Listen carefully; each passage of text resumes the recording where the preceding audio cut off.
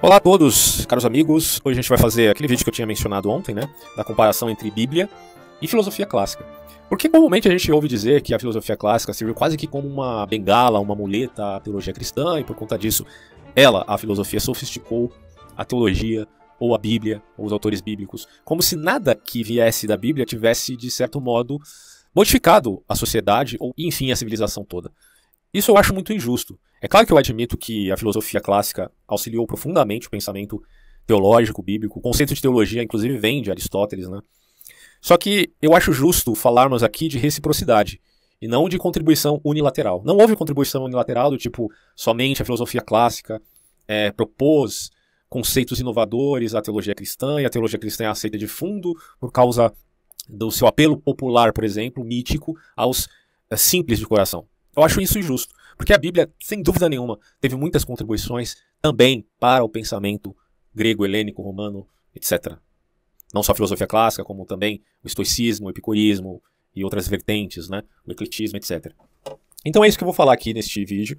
Ontem eu estava vendo algum, alguns pontos aí, até para fazer uma reciclagem, em alguns conceitos filosóficos, né? porque a gente acaba esquecendo de algumas coisas.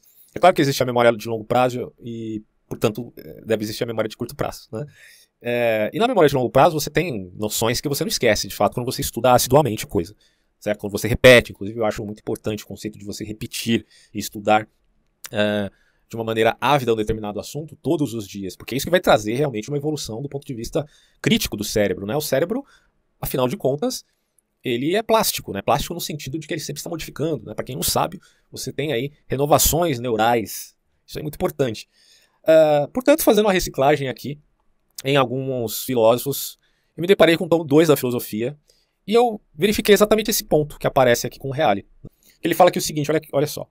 A mensagem bíblica, mesmo que não tenha sido inspirada pela razão e sim pela fé, teve tal impacto histórico e incidiu de modo tão profundo na concepção de mundo e da natureza do homem, que deve ser considerada também do ponto de vista filosófico. Qual é a pegada aqui? É ele falar que a inspiração bíblica não é a razão, mas é a fé. Isso coloca em xeque, uh, para alguns, a ideia de que a Bíblia tem alguma validade, já que não é pautada por um aspecto silogístico, por uma lógica formal e por aí vai.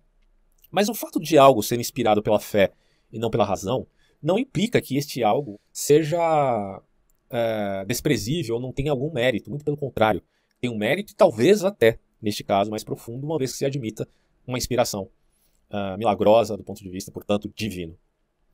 Isso me lembra aquele epiquerema, né? Do asno de Berdan. Quando você tem um asno que se depara com dois fenos, eu já tinha explicado isso outras vezes, e diante desses fenos, uma à direita e outro à esquerda na mesma quantidade e supõe-se da mesma qualidade, o asno tem que escolher com a razão um e outro. Ou então ele tem que escolher de modo irracional, arbitrariamente, um ou outro. E aí fica a pergunta: o que, que ele vai fazer? Ele vai ser irracional escolher um dos fenos, ou ele será racional e conseguirá ver alguma diferença possível que possa justificar a sua escolha. Se ele for destro, canhoto, quem sabe. Mas a, a grande verdade desta suposta problemática é de que ele não precisa ser nem racional e tampouco irracional. Ele pode ser um não racional. Ou seja, eu me abstenho de usar a razão aqui porque não há necessidade, porque há uma outra forma de justificar isso, que é a minha simples, simples escolha, considerando que os dois fenômenos tenham a mesma importância. Tá? Então eu não estou sendo racional, a não ser pelo fato de saber que os dois fenômenos são iguais. Mas a escolha mesma, ela é não racional, o que não implica ser irracional. Bom, por que, eu estou dizendo isso? Simplesmente para deflagrar o fato de que a fé mesma, ela não precisa ser irracional ou necessariamente racional, embora a Bíblia ateste a necessidade de uma razão, ok? Isso todos sabemos. A Bíblia diz para é, que possamos justificar a nossa fé com um culto racional, então, com renovação mental, tudo isso implica também a razão. Não é, não é uma questão de você ser fideísta, tá? Mas ao mesmo tempo, nós sabemos que tem certos valores da religião que você não vai conseguir provar. Ou não haverá ainda, claramente, um critério de prova, embora, embora alguém pode, possa contestar. Por exemplo, o caso da ressurreição de Cristo. É claro que você pode pensar racionalmente essa questão da ressurreição. Será que é possível que isso tenha acontecido? Uh, devemos admitir as testemunhas oculares do caso? Como repensar isso? Bom, William Lane Craig admite uma certa razão para repensar isso e crer, né, com base não só numa fé não racional, que é diferente de racional, mas também numa certa conceituação racional. Só que ele mesmo admite que a razão não é necessária para você admitir a fé mesma, porque a fé antes de tudo, é um testemunho interior. Então há essa parte objetiva que implica na razão e que a, que a própria Bíblia não desconsidera. Mas há também esse aspecto de um testemunho interior e que implique, portanto, uh, não necessariamente numa razão. Apelamos, por exemplo, a Aristóteles quando ele fala desse pensamento linguístico, a linguagem que parte tanto do mito, que é poético, tanto da retórica, que é precursora de convencimento, mas também que necessita de um apelo à analítica, uma investigação criteriosa, ou de uma mentalidade dialética na verificação dos opostos. Essas linguagens existem não só na Bíblia, mas no próprio ser humano. E aqui podemos então dizer: fé não precisa ser sinônimo de racionalidade, tampouco de fideísmo obsessivo. Mas ao mesmo tempo, temos que admitir que fé não necessariamente implique numa razão pura. Porque daí já estaríamos cometendo uma falácia, uma vez que muitas das crenças que um cristão, ou que um judeu, ou que um muçulmano tem, ela não pode ser provada com um critério que seja aceito por todos, ou com um método que seja aceito por todos, ok? Bom, aqui o Real ele vai traçando então alguns pontos e ele chega ao aspecto nevrálgico da questão, que são as contribuições que a Bíblia teve aí para o pensamento grego, helenista, romano, enfim, o pensamento da filosofia em geral, da antiguidade. Olha só que interessante. As mais significativas contribuições filosóficas da mensagem bíblica são, primeiro, o conceito de monoteísmo que substitui o politeísmo grego. Apesar que eu já coloquei nos meus vídeos anteriormente que os antigos hebreus eram enoteístas, mas devemos considerar que houve uma gradativa modificação desse pensamento, uma sofisticação que não foi dependência pura e simplesmente da Bíblia, ou melhor dizendo, da filosofia grega, mas que teve também o seu, a, a sua estruturação com outras influências, tá? até chegar à ideia de um monoteísmo. Então, o monoteísmo ele foi atestado com muitas contribuições, mas deflagrado em síntese na Bíblia.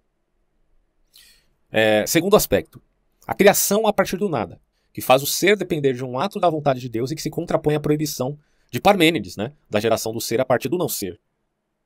Então, Deus é o ser propriamente dito, para Parmênides, e haveria uma negação tanto do movimento quanto da multiplicidade. Mas aqui nesse caso, para o pensamento cristão, admite-se o ex nihilo e, portanto, uma criação a partir do nada. Porém, porém, porém, devemos salientar aqui também uma nota de rodapé, que o pensamento judaico ou hebraico, ou da Bíblia hebraica, partindo do exegese, do texto hebraico propriamente dito, né, no ponto de vista crítico, podemos dizer que não necessariamente é uma admissão ali em Gênesis do ex mas que isso foi uma contribuição filosófica posterior, tá? mas que não necessariamente da filosofia clássica. Então, mais uma vez, temos a síntese tanto em Maimônides, quanto em Tomás de Aquino ou em outros pensadores religiosos, que admitiram essa perspectiva do ex nihilo. Terceiro lugar, uma concepção do mundo fortemente antropocêntrica, que não tem precedentes na filosofia helênica e que foi mais cosmocêntrica. Então, a filosofia helênica cosmocêntrica, uh, o pensamento bíblico antropocêntrico, onde o homem é coroado como a, a criação mais perfeita de Deus e está no centro das atividades de Deus no universo inteiro, ok? Então essa contribuição, é, talvez você não consiga enxergar isso de cara, mas se você para para refletir, cara, você vai ver que isso tem um peso enorme na sociedade em geral. Quer dizer, o homem é a coroa da criação, diz a Bíblia. Isso muda tudo, né? Quer dizer, cada vida passa a ter um valor uh, inimaginável. E cada ser humano passa a ter, portanto, um aspecto idiosincrático, ok? E cada homem é um mundo, cada mundo tem um valor enorme também. É um fator que possibilitou, por exemplo, né, a ideia de individualidade né, que você vê na modernidade. Bom, em quarto lugar, uma interpretação da lei moral diretamente ligada à vontade de Deus, ou seja, Deus seria a fonte definitiva da lei moral, e o dever do homem estaria em obedecer seus mandamentos. Para o grego, ao contrário, a lei teria seu fundamento na natureza, e a ela também Deus estaria vinculado os deuses da natureza, né?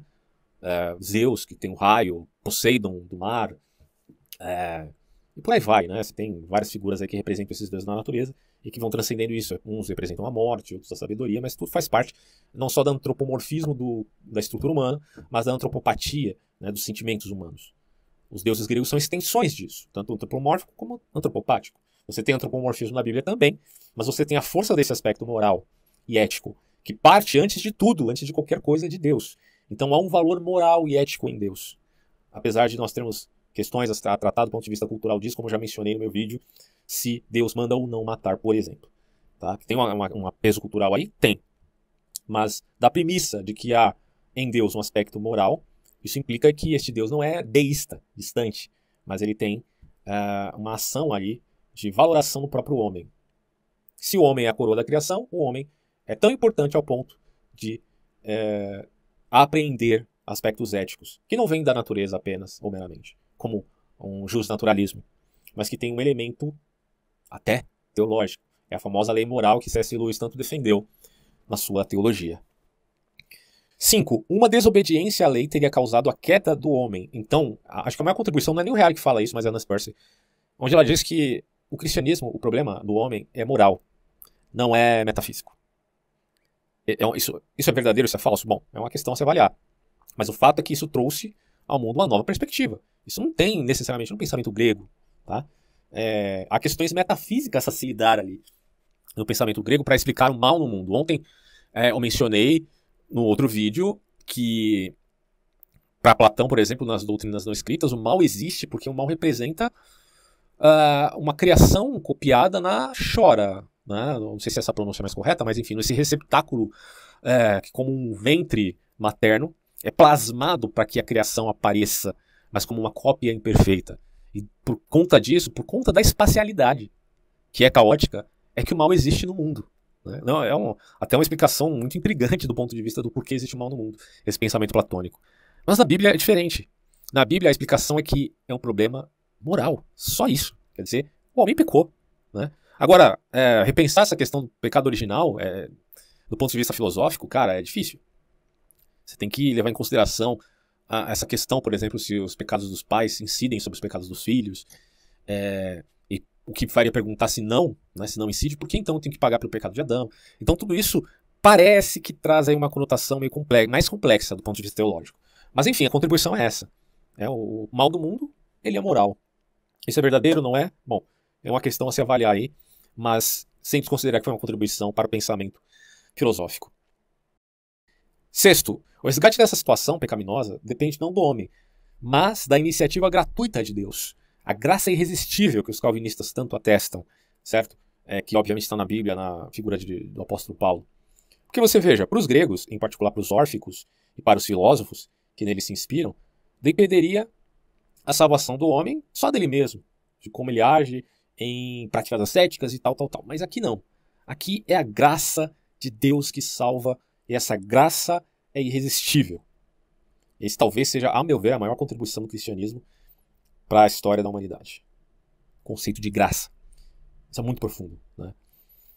Em sétimo lugar, a providência de que fala a Bíblia, diversamente da grega, tanto a socrática como a estoica, dirige-se ao homem individual. A ela está ligada a redenção operada por Deus por amor da humanidade. Então tem um critério de providência divina a um indivíduo propriamente dito e não uma coletividade. Isso também foi uma, uma gradação uh, no pensamento ali dos judeus, né? que culmina no cristianismo.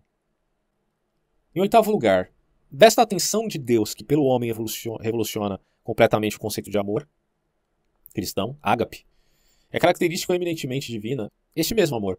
Enquanto para os gregos Deus era amado e não amante, como o Deus de Aristóteles, porque, convenhamos, o Deus de Aristóteles é o Deus dos filósofos. O Deus cristão é, é outro. Né? Porque o Deus do deísta, né, do, do Aristóteles, ele é um Deus que era amado, mas não amante. Não amante. Em segundo lugar, porque a dimensão do eros helênico era aquisitiva, diz o Reale, enquanto o agape cristão é donativo. Então tem um aspecto da, da caridade que mudou completamente o pensamento dos antigos. Como ser caridoso faz sentido isso? O cristianismo faz. Mas por quê? Porque o cristão diz que Deus é amor. Ok? Então isso faz toda a diferença do ponto de vista uh, da caridade. A própria fé, como eu já disse antes, tem que agir pelo amor, não pela mera razão, diz a Bíblia. Em nono lugar, tal intervenção não diz respeito apenas ao tema do amor, claro, mas a toda a série dos valores dos gregos que o cristianismo ilumina sobre a base do discurso das bem-aventuranças, em que se privilegia a dimensão da humildade e da mansidão. Sejamos justos aqui. As bem-aventuranças elas já estão presentes no pensamento é, judaico antes do cristianismo, certo? Se você é, tiver acesso aos manuscritos do Mar Morto, você vai ver que já entre os essênios, ainda que não, ainda que aqueles manuscritos não tenham sido escritos propriamente pelos essênios, mas os essênios zelavam pelos escritos. já existia a conceituação ali de bem-aventurança. Então o cristianismo, ele herda isso do pensamento judaico daquele período, certo? Interbíblico. E nesse período interbíblico, que tinha já uma certa influência grega, produz por conta de uma influência puramente judaica essa síntese, né? De que agora existe esse conceito de bem-aventurança, humildade e mansidão, porque os mansos herdarão a terra, justamente porque quem intervém é Deus no mundo, ok? Nasce o conceito de piedade propriamente dita. Então a contribuição cristã, sim, mas antes do cristianismo, o judaísmo já tinha esses elementos que o cristianismo, enfim, herda.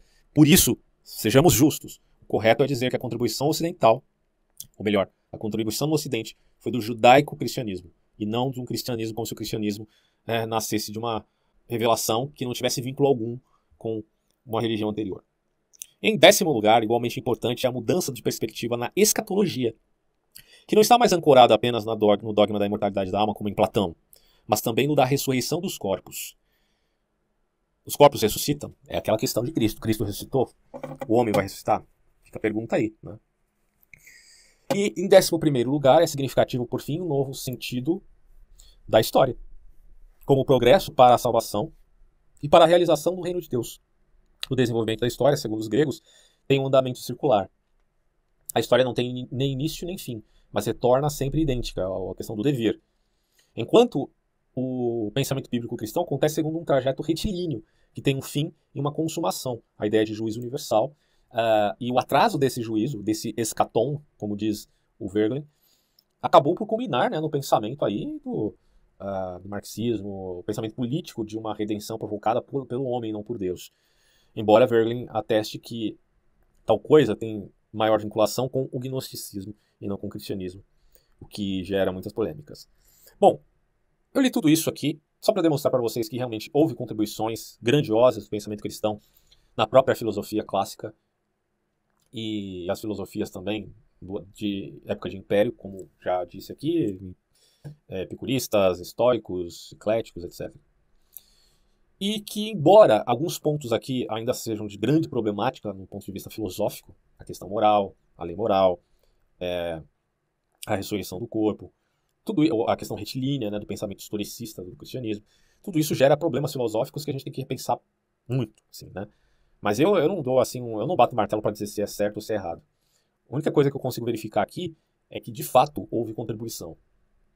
Porque não é, o, não é a questão disso, ah, isso vai acontecer na história, né? uma intervenção divina como é, prerrogativa, é, por exemplo, do livro de Apocalipse. Eu não sei se vai acontecer. Mas o que eu posso dizer é que sim, houve contribuições para que eu, por conta dessa motivação, tá? O que, enfim, gerou a civilização como um processo dialético entre filosofia clássica, entre pensamento cristão e entre o aspecto do direito e do positivismo. Essa, esses três aspectos, eles, mais do que uh, peças que se encaixam uma com a outra, é um pensamento dialético. E esse pensamento dialético é que contribuiu tá, para o engrandecimento da nossa civilização. Então, é isso que eu tenho a dizer e até próximos vídeos. Tchau.